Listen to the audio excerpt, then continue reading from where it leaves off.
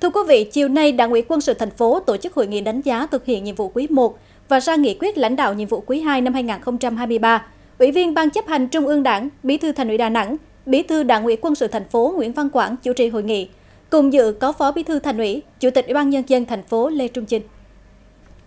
Quý 1 năm nay, Đảng ủy Bộ Chỉ huy quân sự thành phố đã chủ động phối hợp tham mưu cấp ủy, chính quyền địa phương, lãnh đạo chỉ đạo triển khai thực hiện hoàn thành khá tốt nhiệm vụ quân sự quốc phòng địa phương. Nhiều nhiệm vụ hoàn thành tốt, góp phần giữ vững ổn định về an ninh chính trị, trật tự an toàn xã hội, tạo điều kiện để địa phương phát triển kinh tế xã hội.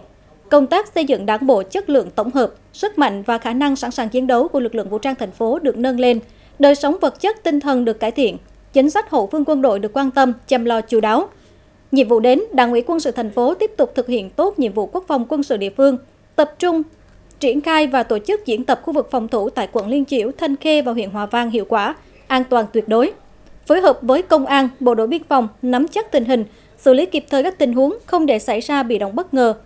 Kiểm tra công tác huấn luyện chiến sĩ mới, quản lý huấn luyện hải đội dân quân thường trực chặt chẽ, nâng cao khả năng làm chủ vũ khí trang bị, sẵn sàng tham gia bảo vệ chủ quyền biển đảo, nâng cao chất lượng sinh hoạt trong các chi đảng bộ, chỉ đạo ra soát biên chế các cơ quan đơn vị trong lực lượng vũ trang thành phố, đảm bảo đầy đủ đồng bộ vũ khí trang bị kỹ thuật cho nhiệm vụ sẵn sàng chiến đấu và huấn luyện diễn tập. Tiếp tục quán triệt triển khai nghiêm túc có hiệu quả các văn bản chỉ đạo của Đảng, Trung ương, quân khu và thành phố về công tác xây dựng chỉnh đốn Đảng.